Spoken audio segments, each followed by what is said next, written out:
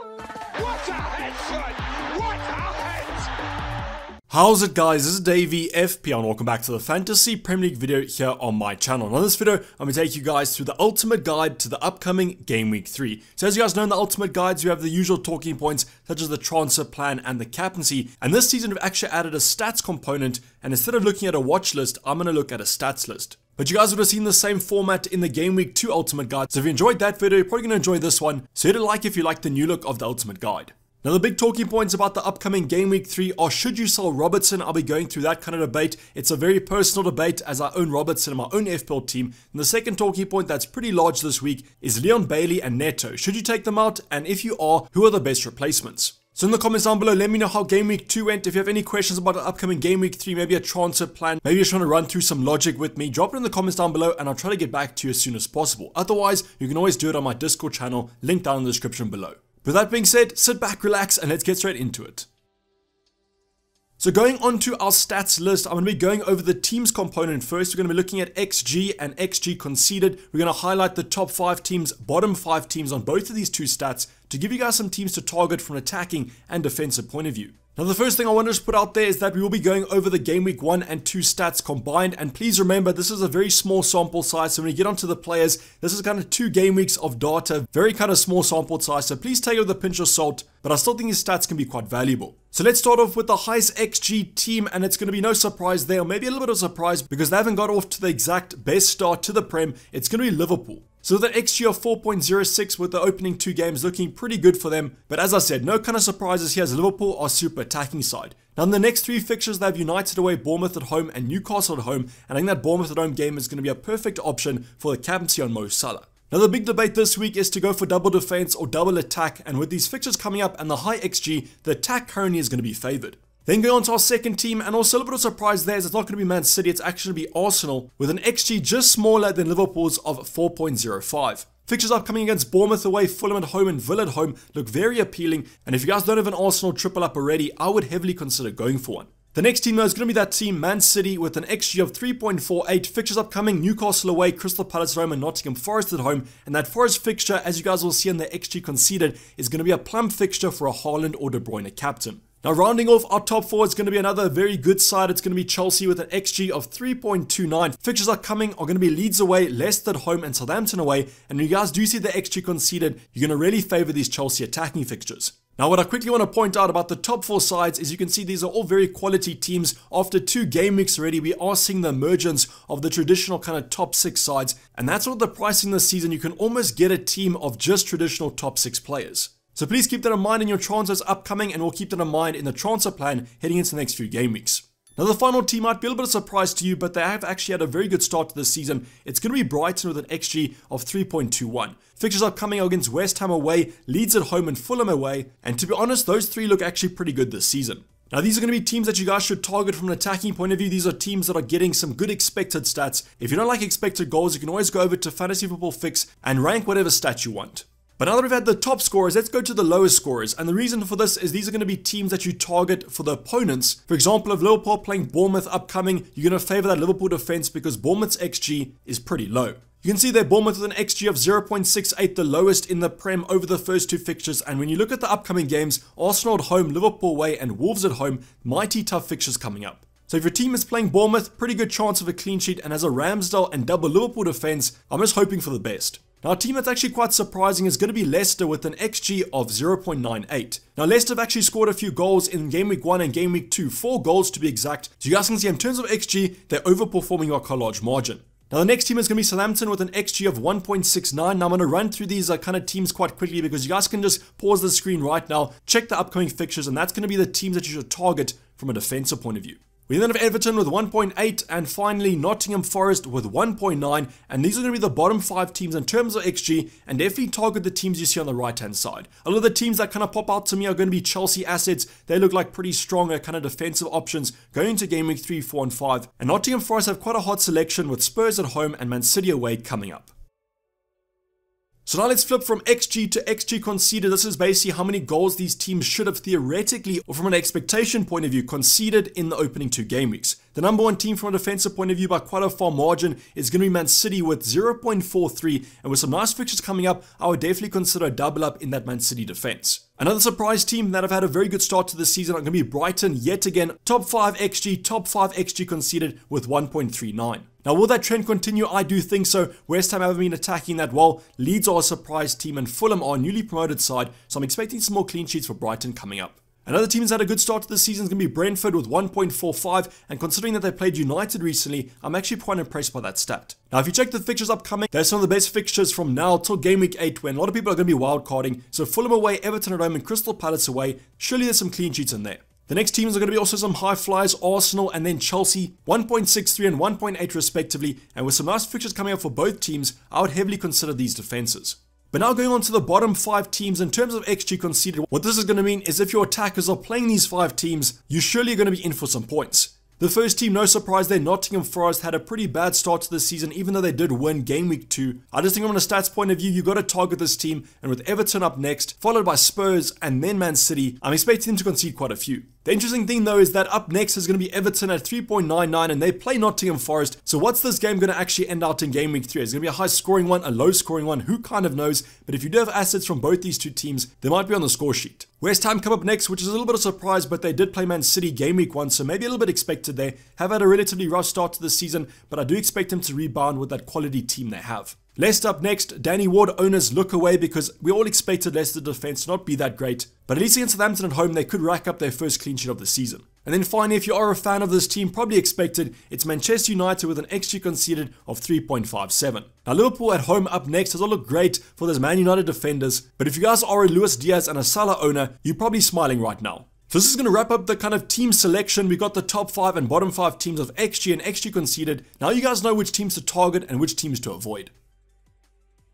But now going on to our player portion of the watch list or the stats list, I'm going to be covering XG but non-penalty. The reason for this is, as you guys know, a penalty is going to have quite a high XG. Who kind of knows when a player will get a penalty? Yes, it makes them a better option, but for this stats list, I've decided to take it away. Now, coming up in first place is not going to be in first place in most people's hearts. It's going to be Darwin Nunez with 1.83 expected goals non penalty. Now, you guys know that he saw red, he's wearing red, and he is suspended for I think the next three games. So, your owners got quite unlucky, especially if you did wild wildcard him in. Now, the fixtures that he will miss are going to be on the right hand side there. So, the next three look pretty strong from an attacking point of view, and that's why it's super unlucky for you Darwin owners. Luckily though that you can make an easy switch to Jesus with 1.6 XG and with fixtures against Bournemouth, Fulham and Villa coming up, that transfer will probably pay off. Now if you guys did watch my transfer plan and potentially my team selection tomorrow, you guys will know all about Gross. So the Brighton midfielders had an absolute explosive start to the season, 1.58 expected goals, his XA is looking pretty strong as well, and with some nice fixtures coming up, he definitely could be a nice differential at 5.6 million. But you guys already know about him, I've spoken about him enough in my transfer plan and potentially as I mentioned in my team selection tomorrow. Another player that's risen in price to 6.1 is going to be Rodrigo with an XG of 1.44 for Leeds. Now that Leeds fixture upcoming against Chelsea at home is putting me off, but I think that they have a good chance of actually scoring there, so that is a little bit of a warning to you Chelsea double defense owners. Now after that they do have Brighton away which is a tough game as well, so for me Rodrigo and the Leeds assets are wait and see. And then finally, as expected, it's going to be Haaland 1.09, but this hasn't been much of an improvement after the game week 1 against West Ham, and that's a little bit surprising considering he played Bournemouth at home in game week 2. Now I brought him in, I captained him, he did score more than Salah, so I guess we should be happy, but the fixtures upcoming are slightly tougher than they've had in game week 1 and 2. Newcastle away is a tough game. Crystal Palace at home, like Liverpool just showed, is a tough game as well. However, game week 5 against Nottingham Forest is probably going to be a triple captaincy consideration. So all in all, these top 5 teams are definitely going to be on my radar. I already own Jesus, Darwin's got a red card, I own Haaland, but Gross and Rodrigo provide nice little differentials. But now that we've covered XG, let's go over XA, which is going to be X assists. We want to give those kind of assisters a little bit more love. And what better way to start off with the assist king? It's going to be Kevin De Bruyne at 1.23. Now, Kevin De Bruyne had a massive game week two. I'm expecting him to have a massive season for Man City. And therefore, if you guys want to go for a differential premium, the Belgium International's on my radar. Another player that should be on your radar, if not in your team, is going to be Ivan Toney with an XA of 1.19. A little bit surprising there, considering that he is a striker. You'd expect his XG to be higher, but Toney is a little bit of an interesting player. And the interesting thing about Brentford is they have some great fixtures coming up. Ollie Watkins was another surprise there. Wasn't expecting too many strikers to be here, but who kind of knows? With 1.12 though for Aston Villa, I would probably avoid with hard fixtures coming up. We then have Harrison, who was a mainstay from the last video, so had a good game week 1, a relatively respectable game week 2 with an XA of 0.98. Now, like Rodrigo, it's a wait and see for me with Chelsea and Brighton coming up, but after that, I think that he could be a nice asset.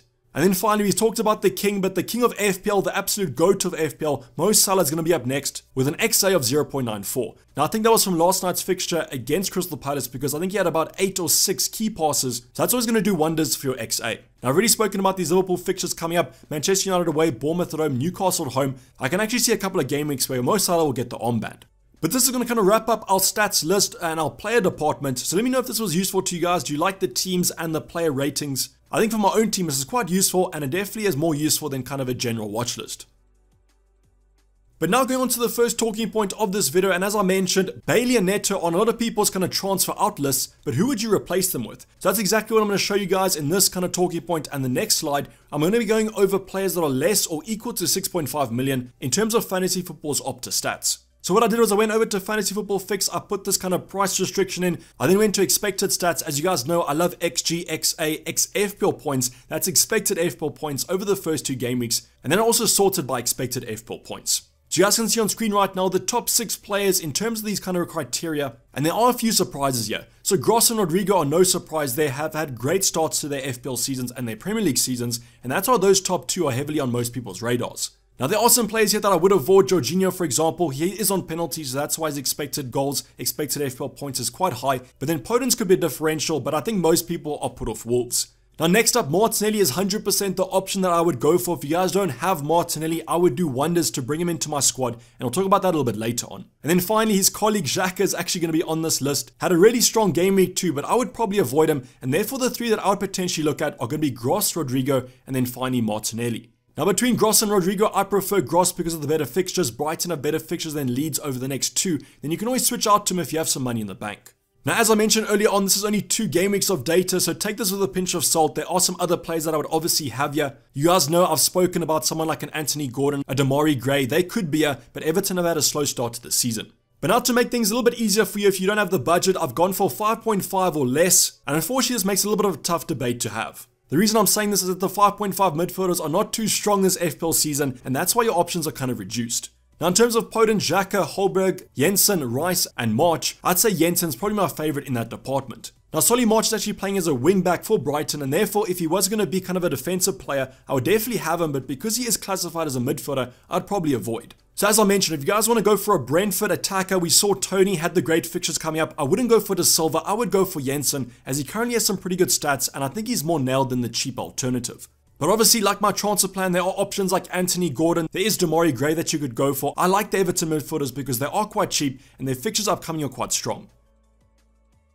Now, the next talking point is going to revolve around Andy Robertson, and as I mentioned in the introduction, this is a very personal talking point to me because I own him myself and I am considering transferring him out to be honest. Now, first things first, if you guys have Andy Robertson and you want to take him out for a like for like, someone like a Diaz, a Walker, Cucurella, and you only want to make one transfer, I wouldn't do it. I think Andy Robertson is fine for the upcoming game weeks, and that's why the only reason I would take Andy Robertson out is that if you guys want to upgrade your midfield department to Luis Diaz. So as you guys can see there, I've added a number. That's going to be the projected points from game week 3 to game week 8. I went over to Fantasy Football Fix's projected tool and I pulled these two data points, but just keep in mind that these are projected numbers and these might not come true. The other thing to note is I would actually bump up Luis Diaz now that Darwin has that red card. I think Diaz's expected minutes are going to skyrocket because he is going to be nailed for every single game for at least the foreseeable future. So take those predicted points with a pinch of salt as I've mentioned, as I do consider these players to be quite equal. Now, the unfortunate thing with Andy Robertson is that the Liverpool defense has started off quite slow. We have had some uh, injury concerns there. Matip, Konate getting injured. We then had Nat Phillips playing last night who got kind of bossed by Zaha for that goal, which was quite disappointing and wiped out my double Liverpool clean sheet. And as we saw the Liverpool fixtures, United away, Bournemouth at home, I think those two fixtures are more attacking sided and I can actually see United scoring on Monday. So that's why the only situation and the one that I'm considering is that if you do want to upgrade Neto or Bailey to Luis Diaz, and therefore downgrading Robertson to a cheaper defender, that's the only situation where I would do this transfer. But this is going to be something that you guys have to decide on if you want to change your kind of structure of your team 100%, but also consider the fact that the Liverpool fixtures upcoming are quite strong. We saw the XG conceded and the XG of some of their opposition being quite low, and therefore the clean sheets could actually be secured. So just keep that in mind when you do consider this move, but I do think it's quite appealing because kind of an Andy Robertson versus a 5.5 midfielder versus a 5 million defender and Luis Diaz is far more appealing to me than keeping the Scottish fullback. Let me know in the comments down below what you guys are doing. I will discuss this in my team selection tomorrow, so keep your eyes out for that because I could actually be taking a minus 4 hit going to game week 3. Now the final talking point to go over is going to revolve around captaincy and this week is actually a pretty split week to be honest. Yes, we do have our kind of favorite options, but there are some differential teams with great fixtures coming up and I think they might actually reap the rewards. But 100% the safest option and the most popular option this week will be Mo Salah and he has a fixture against Manchester United away. Now, I do think if Man United did not lose to Brentford 4 0, this would be a whole different story. I think this might be a replication of last season where I didn't captain Mo Salah against United and he went absolutely nuclear. But fortunately, this season United look bad, but Liverpool are also not on their best form, and that's why this game might actually be quite close. But yes, currently Mo Salah is the safe option, the popular option to go for, but in my opinion, there's a differential captain that I think will be quite nice. And that player is going to be none other than Gabriel Jesus. Started off preseason quite well, started off this season quite well. Game week 1 didn't score, but game week 2 went absolutely massive. And that's why with Bournemouth away up next, I really do favour the Arsenal attacker. Now, special mention goes out to Haaland, but I do prefer Jesus to Haaland. Newcastle's XG conceded is better than Bournemouth's XG conceded, and I just think Jesus might be a bigger talisman than Haaland at Man City. So yes, to be honest, these two assets, I don't think you can go wrong. My heart is currently going to be probably on Salah because I am a Liverpool fan. He plays on Monday night, but I actually do think Jesus is going to be the better option this week. But you guys can let me in the comments down below. Are there any other options that I'm missing out? There are some nice fixtures uh, potentially for this game week. We have Reece James and Mason Mount playing Leeds away. That could be a massive game for Chelsea. But I think between these two, you're getting your differential and your safe option. But this is the best you're up for the guys. Hope you did enjoy it. Please don't to like the video and subscribe if you haven't subscribed yet. I'll be seeing you guys for the team selection tomorrow, so make sure that those bell notifications are on or you are following me on Twitter to get the notification. But I'm in signing off. It's been Dayvy FPL and I'm out. Cheers. Bye.